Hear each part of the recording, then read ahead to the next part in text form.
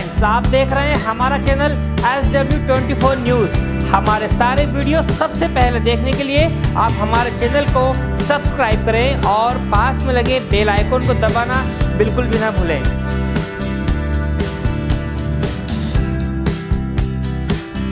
राष्ट्रीय मानवाधिकार और महिला बाल विकास आयोग की जिला अध्यक्ष ने भाई दूज का पर्व बाल सुधार गृह में मनाया गया।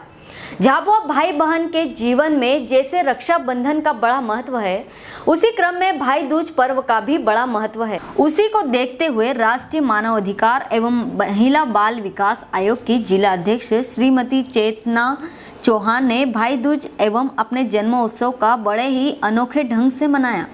सर्वप्रथम बाल सुधार गृह पहुंचकर समस्त बच्चों व स्टाफ के साथ एकत्रित होकर राष्ट्रीय गान गाया और भारत माता के जयकारे लगाए, जिसके बाद जहाँ उन्होंने समस्त बच्चों को मस्तक पर तिलक लगाकर सल्पाहार करवाकर भाई दूज की बधाइयाँ एवं शुभकामनाएँ दी।